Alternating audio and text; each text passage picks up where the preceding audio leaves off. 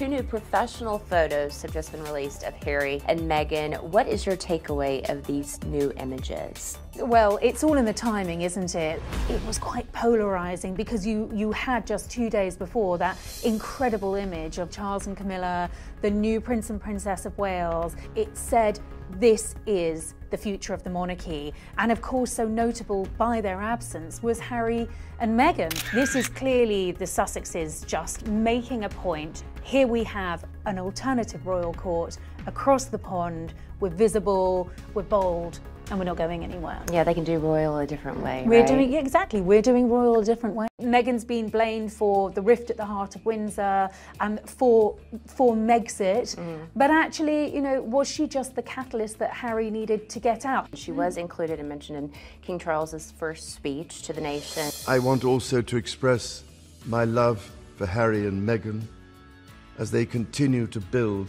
their lives overseas do you foresee, I know there's a lot of hypotheticals and speculations here that we are, are having to make, but could you see King Charles embracing her and having her be a part of the monarchy more? Well, you know, Charles actually always had a, a pretty good relationship with, right. with Meghan. It was Camilla who suggested that Charles walk Meghan up the aisle, yeah. and of course he did. I think it was a very proud moment for him. I mean, they enjoyed holidays in mm. Scotland together. It, it, you know, it went really wrong really quickly because actually Charles was sort of very supportive of them in the early days of the right. courtship stepped in on, on the wedding day when, of course, Thomas Markle couldn't be over here.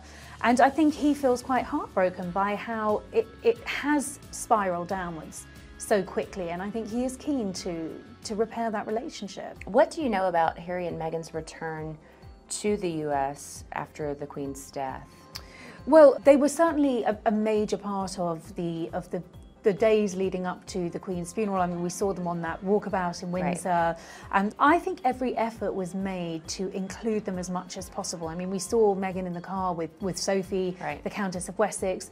You know, the concessions were made so that Harry could be in his uniform the only time really I suppose they were demoted was when they weren't at the state reception the night before the funeral. But that's because they're not working members of the royal family. Right. But I think there was a clear message you're in as family but in terms of working royals you're you not. you're not. You're out. And the queen made it very clear that you were either in or out. Mm. and so I think they probably returned to California with very mixed emotions. Mm. grief possibly some regret over how things had panned out. I mean, don't forget that Harry and Meghan were invited to go to Balmoral to spend a weekend with the Queen with their children in that summer.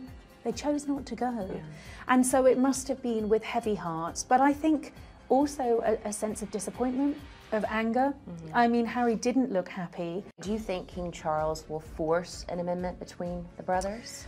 Well, I, I, think it's very difficult for, for the king to force a reconciliation on anyone. It's either going to happen or, or it's not. Right. And, and we know that, you know, Charles did have some conversations with Harry while he was over there, that there is this flicker of hope that mm. there can be a reconciliation. It is his genuine hope that he can smooth things out.